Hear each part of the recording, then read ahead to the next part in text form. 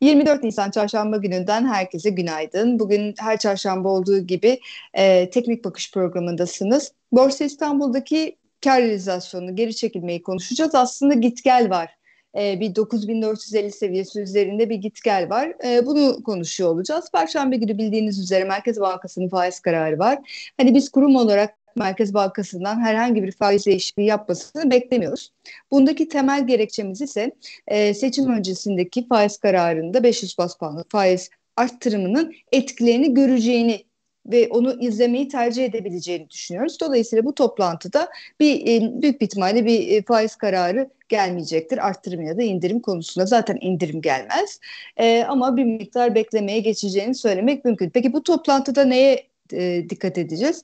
Faiz kararında metninde özellikle sıkılaşmanın korunup korunmadığına bakacağız. Dolayısıyla bu bizim için önemli bir ifade olacak ve enflasyondaki geçişkenliği ve enflasyondaki genel aylık durumunda nasıl ilerlediğini ilişkin kullanılan ibarelerde bizim açımızdan şahin mi güvercin mi olup olmadığını gösterecek ve fiyatlamalara etkili olacak. Özellikle Perşembe günü bankacılık endeksine bir miktar daha dikkatli olmakta fayda var. Endeksteki taşıyıcı kolonyada endeksteki kar realizasyonları etkisini biz biraz daha burada görüyoruz. E, pazartesi günü fiyatlama açısından havacılık sektöründeki alımlarda daha doğrusu havacılık sektöründeki pozitif e, harekette puan bazlı pozitif etkilerinin olduğunu gördük. Bunda da temel etken hafta sonu yurt dışından gelen havacılık sektörünün yönelik pozitif açıklamalardı. Dolayısıyla tüm bunların etkisini e, aldık ve fiyatlama üzerinde dahil olduk. Çok büyük bir yere yükseldik ya da çok büyük bir düşüş gerçekleştirdik mi?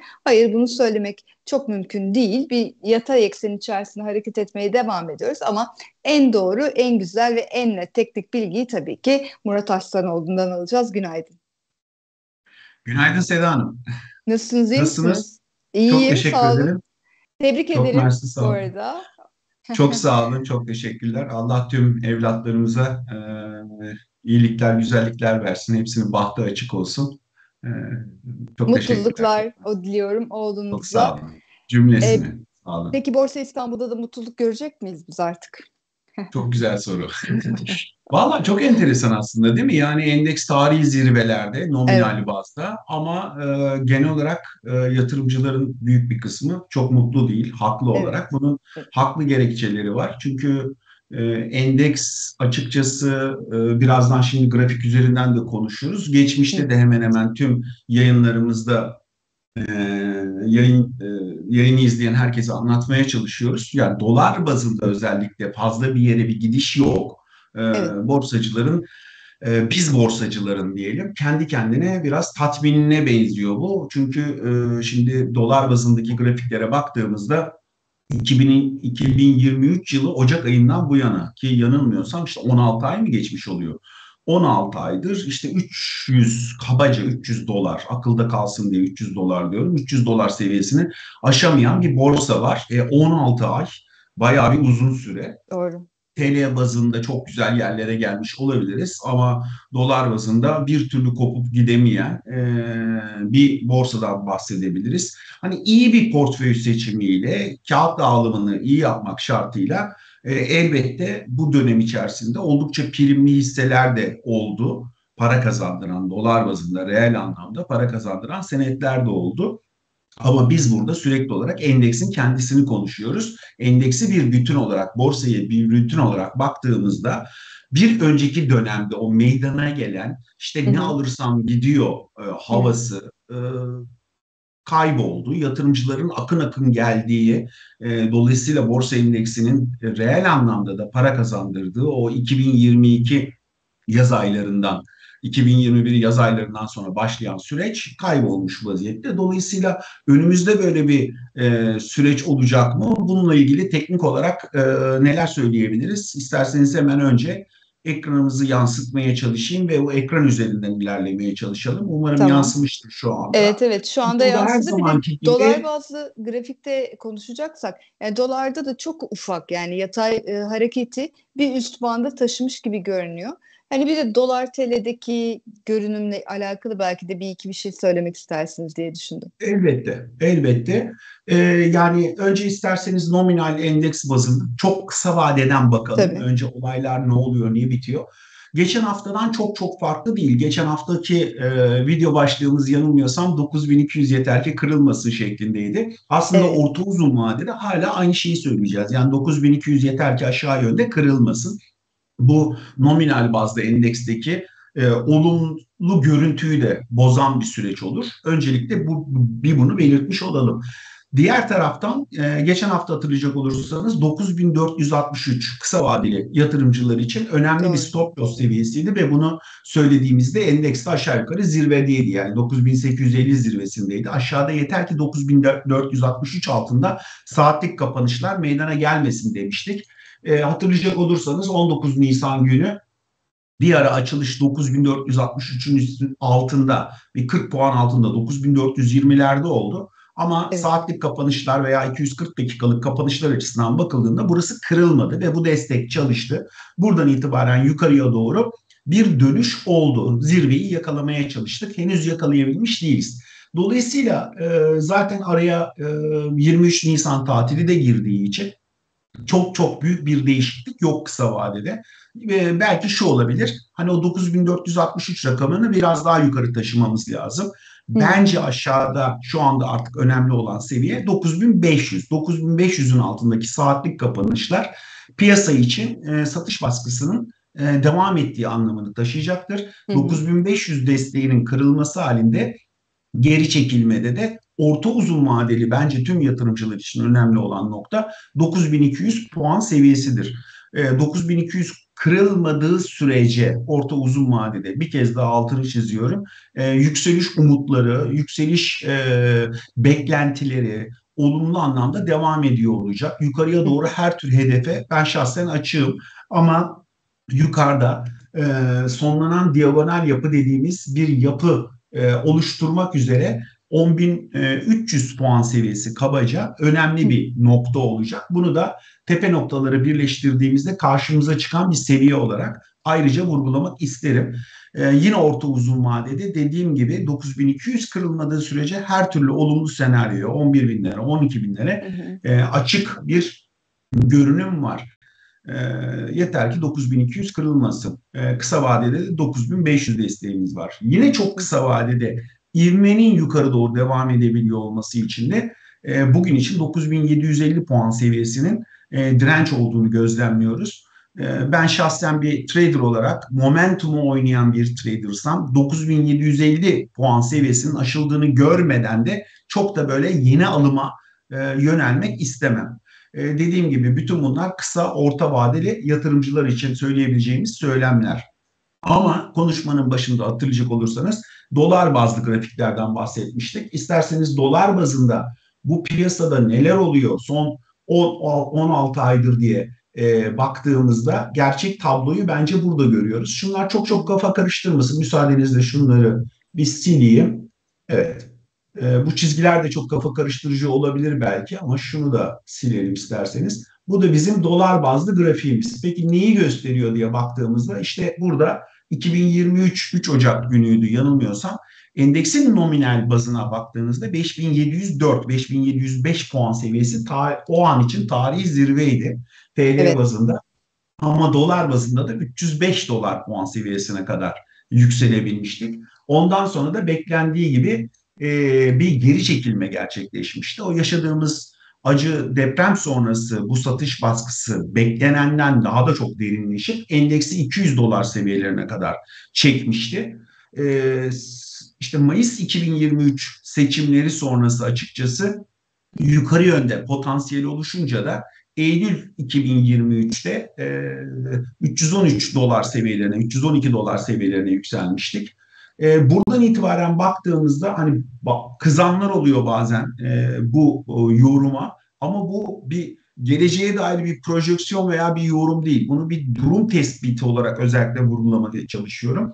Ocak 2023'ten bu yana e, böyle mesafe kat eden, e, prim yapan e, bir borsa maalesef yok. Dolar bazında sürekli olarak 305-313 dolar seviyesindeki bandı deneyerek oradan geri gelen e, bir piyasa var. Burada tek umutlu şey söyleyebileceğimiz geleceğe dair işte şu diplerin e, yükseliyor olması. Yani yükselen dipler geleceğe dair bir umut e, doğuruyor.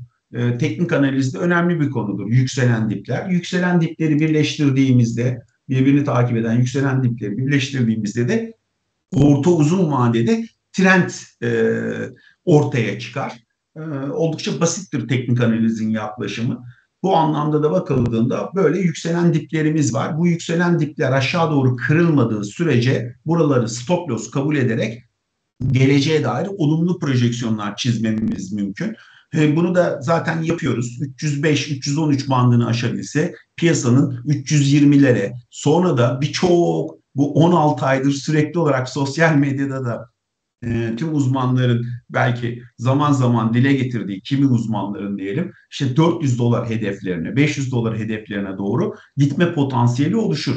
Ama bu endeks 400 dolarlara 500 dolarlara gidebilmesi için herkesin malumu mutlaka ve mutlaka evet. para girişine ihtiyacımız var. Bu para girişi de e, çok e, güncel bir söylem var biliyorsunuz lokaller diye. E, lokaller elinden geleni yaptı. Yani e, birçok e, işte yatırımcı sayısı e, milyonlara ulaştı. 7-8 milyonlara ulaştı galiba değil mi? Yani yatırımcı sayısı. Evet. Ee, yani herkes elinden geleni ardına koymadı. Akın akın borsaya geldi bir dönem. E, düşük faiz ortamında e, tasarruflarını koruyabilmek için. Dolayısıyla biz lokaller elimizden geleni yaptık piyasa yükselsin diye. Biraz da yabancı para girişine, yabancı sermaye girişine, sıcak para dediğimiz girişe ihtiyaç var. Ha bu ayrı bir tartışma konusu. Hani e, döndük dolaştık e, sıcak paraya kaldık. Yani e, ama o konulara çok ben girmeyeyim. Değerli ekonomist arkadaşlarımız çok da e, düzgün bir şekilde değerlendirir bunu. Ama ben de 30-35 senedir e, finansal piyasaları izleyen biri olarak açıkçası en azından bir finansal piyasalar gözlemcisi olarak hani dönüp dolaşıp aslında çok da güzel bir şey olmayan sıcak paraya e, muhtaç kalmak e, çok da hoş bir şey değil. Her neyse inşallah yabancı sermaye girişi e, gerçekleşir de işte bu söz konusu direnç bandı aşılabilir ve borsada da yükseliş umutları devam eder diye özetleyeyim durumu. E, burada söylenebilecek ne var? Yine teknik olarak ortaya çıkan aşağı, e, önemli rakamlar var. Müsaadenizle bundan bahsedeyim. Geçen hafta da söylemiştim. 290-292 dolar bandı aşağıda çok önemli. 290-292 dolar bandının aşağı doğru kırılması piyasayı yine bir satış baskısına ve bearish bir bakışa yani e, geleceğe dair olumsuz bir bakışa sokar. E, bu söylediğim min altını çizmek isterim. Lütfen ve lütfen aşağıda 290-292 bandının kırılıp kırılmadığını e, çok yakından takip etmesi gerekir. Teknik analiz yöntemiyle piyasayı takip eden yatırımcıların e, umutların devam etmesi için de bir an evvel 305 dolar seviyesini hiç olmazsa aşmamız gerekiyor. Biraz daha yakınlaştıracak olursam 5 e, Nisan'a kadar benim şahsen görüşüm çok beğeniş bir bakışa sahiptim. Sizlerle de bunu paylaşmıştım. 5 Nisan günü büyük bir e, para girişi oldu. Bu da az evvel sizin söylediğiniz gibi bankacılık endeksi üzerinde oldu ağırlıklı olarak. Ve bu bir anda e, şartları değiştirebildi. Daha önce de söylemiştim. E, borsanın en büyük cazibesi o dinamik yapısı.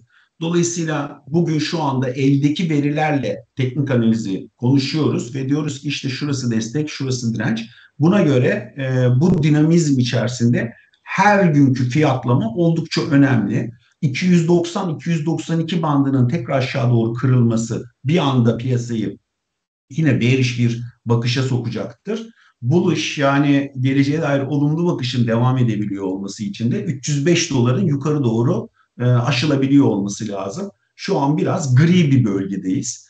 Neden böyle, niçin buradayız diye e, konusu biraz daha e, ayrı bir tartışma. Yani Mayıs ayına yönelik sizler çok çok daha iyi gündemi takip ediyorsunuz. Sürekli de yatırımcılara aktarmaya çalışıyorsunuz. Olumlu bir takım beklentiler var. Nedir bu olumlu beklentiler diye baktığımızda işte kredi derecelendirme kuruluşlarından gelebilecek olan olumlu not artışları bu bir olumlu beklenti. Amerika ile e, en üst düzeyde olacak olan temaslar e, yanılmıyorsam 9 Mayıs'ta Sayın Cumhurbaşkanı'nın bir e, teması olacak deniyordu. E, bununla bununla ilgili ortaya çıkabilecek olumlu beklentiler e, tüm bunlar e, piyasada olumlu bardağın dolu tarafı. Bardağın boş tarafındaysa e, maalesef jeopolitik riskler var. Bu bir. İki, e, zaman zaman yine sosyal medyada yer alan işte Amerika gezisi iptal oldu vesaire vesaire şeklinde de bazı iddialar oluyor. Dolayısıyla bu anlamda da gündemi takip etmek gerekir diye düşünmekteyim. E, dolayısıyla tablo bu. Yani çok çok özetle aşağıda 290-292 dolar e, seviyesi önemli. Yukarıda da 305-313 aralığı önemli.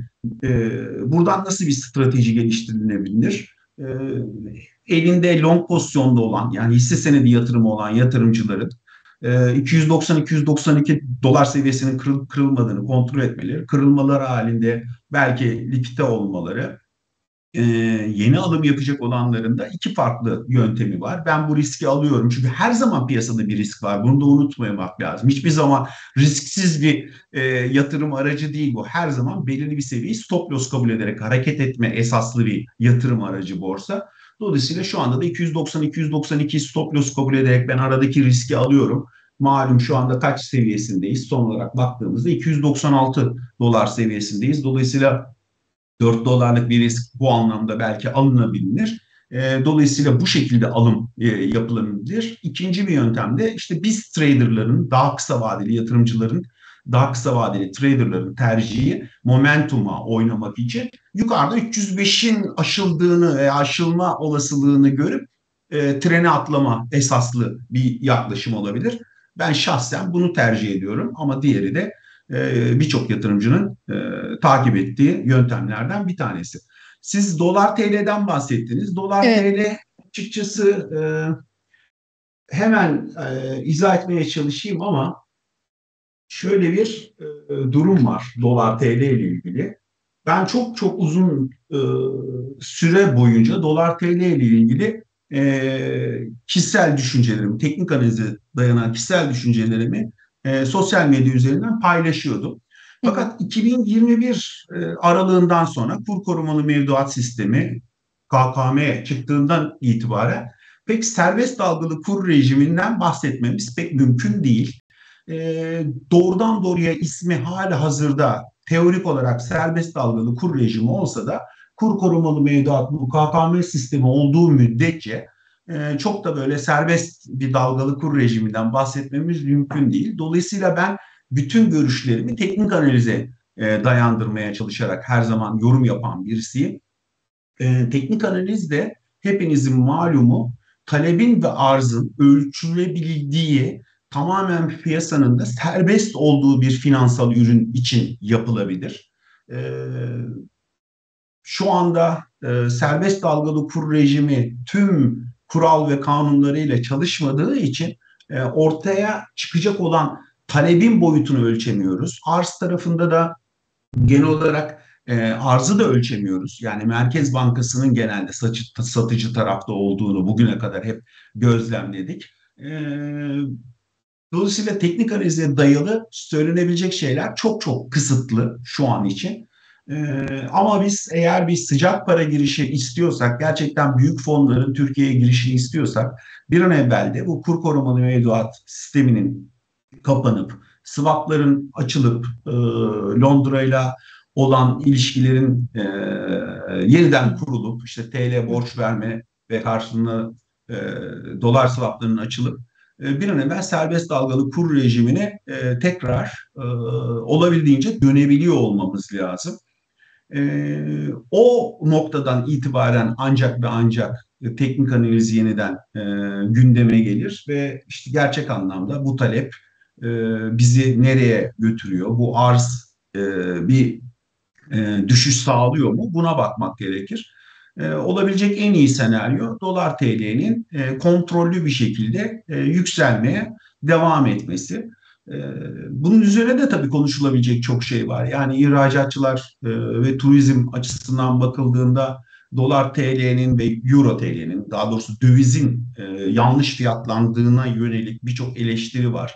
E, ben de dışarıdan bir gözle baktığımda işte Türkiye'yi dolar bazında ya da euro bazında oldukça pahalı görüyorum. Yani çok malum çok yakın bir tarihte bir bayram tatili geçirdik. E, yurt dışı fiyatlarına bakıyorsun, Türkiye'deki fiyatlara bakıyorsun. Bir yanlışlık var, bir, bir linkler kopmuş vaziyette.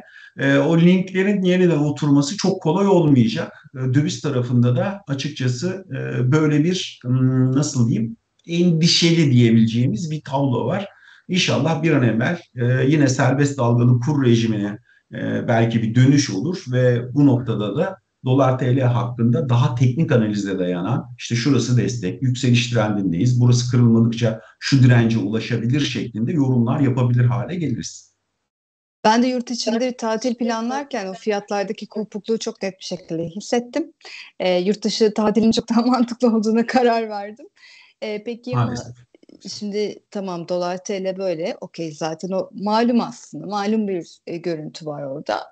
E, yukarı yöndeki e, harekette devam ediyor. Bizde biraz daha bankacılık endeksi ön plana çıktı birkaç haftalık e, serüvende. Dolayısıyla bankacılık endeksini konuşmanın çok faydalı olduğunu düşünüyorum. Çok uzun zaman hatta şöyle çok uzun zamandır değil bizim sizinle programa başladığımız günden beri ben bankacılık endeksi deyip deyip duruyorum. Çünkü evet, burada evet. bir bir senaryo olacak ve devamı da gelecek bunun. E, para girişlerinin burada e, biraz daha yoğunlaşabileceğini düşünüyorum ve daha yüksek seviyelerin oluşabileceğini düşünüyorum. Güncel teknik görüntü ne söylüyor? Valla dediğiniz gibi her hafta sonra sonra bankacılık endeksinin yükselişinden siz sorumlusunuz. Önce onu söyleyeyim. oldukça tamam. destekliyorsunuz bankacılık endeksini haklı olarak gerçekten. Önem veriyorum, Çünkü, evet. E, oldukça önemli. E, yani bir sıcak para girişi olacaksa, yabancı para girişi olacaksa bu para genelde zaten en derinlik, e, hisse derinliği en fazla olan bankacılık sektörüne e, olmayı tercih ediyor genelde sanayi endeksinden ziyade. Ee, bir de tabii bankacılık endeksini de belki kendi içinde ayırmak lazım. Hani kamu bankalarıyla evet. özel sektör bankaları vesaire. Kamu bankalarının geçmişte yaşadığı bir takım sıkıntılı süreçlerle alakalı olarak da çok büyük bir baskı olmuştu. Yani şimdi biraz daha geriden baktığımızda bu dolar bazında bankacılık endeksi. Ne görüyoruz? İşte 2013 yılı Mayıs ayında düşünebiliyor musunuz? Yani bundan 11 sene önce e, bankacılık endeksi 950 seviyelerindeydi. Ama e, birçok yakından takip eden, piyasaları yakından takip eden e, yatırımcıların da bildiği üzere işte 2013 Mayıs sonrası para çıkışı esas bankacılık endeksinde oldu ve 950 seviyelerinden bankacılık endeksinin 140'lara, 100'lere kadar indiğine şahit olduk. E, korkunç bir e, düşüş dönemi geçirdi 2013 yılından 2021 aralığına kadar. E, ondan sonraki süreçte de işte düşük faiz ortamı ve uygulanan politikalar insanları yeniden bir açıkçası borsaya yönlendirdi ve lokaller lokaller enteresan e, lokaller e, büyük bir çabayla e, bankacılık endeksine yönlendiler. Şimdi de yabancı yatırımcının girişini bekliyoruz. E, açıkçası bankacılık endeksiyle ilgili teknik olarak şahsen ben e, şurada ortaya çıkan takoz formasyonun aşağı doğru kırılabileceği endişesindeydim. Bu endişeyi de paylaştım.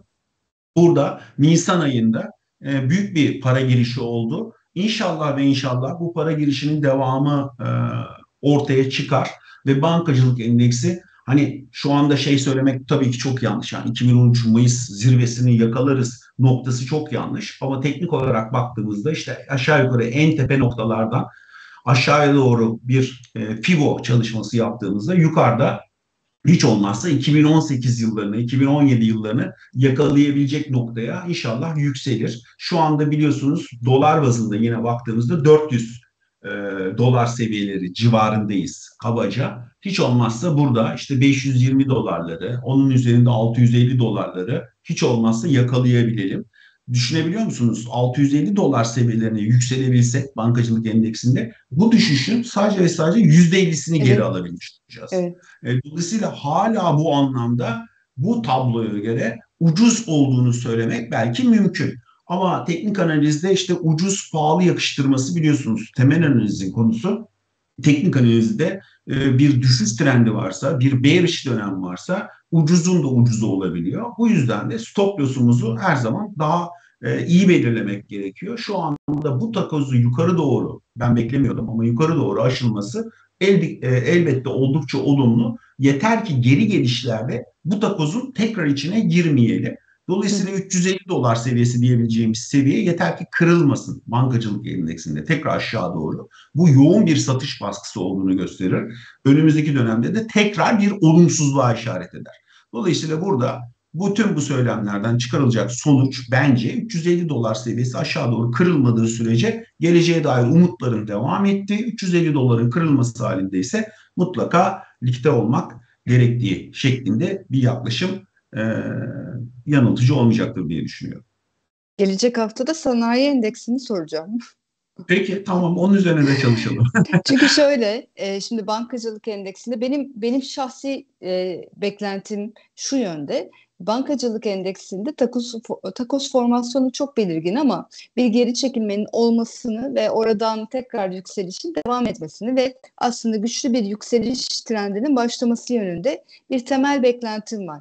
Bundaki e, gerekçe ise işte sıcak para girişinin kademeli olarak devam ediyor olması, e, olumlu raporların e, geliyor olması. Çünkü bu yapılan yurt dışı görüşmelerden sonra büyük bir ihtimalle yurt dışından yeni raporlar yazılacak. Nasıl seçimden önce seçim öncesinde bir raporlar yazılmıştı. Yine bu görüşmeden sonra da yazılacağını düşünüyorum. Bunun da olumlu bir katkı sunacağını düşünüyorum.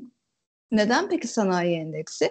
Muhtemelen faiz artımları, e, ekonomideki yavaşlamanın etkisi ve bununla birlikte e, işte yüksek faiz ortamı e, vesaire bunların etkisini yavaş yavaş ikinci çeyrek bilançolarda biz görmeye başlayacağız.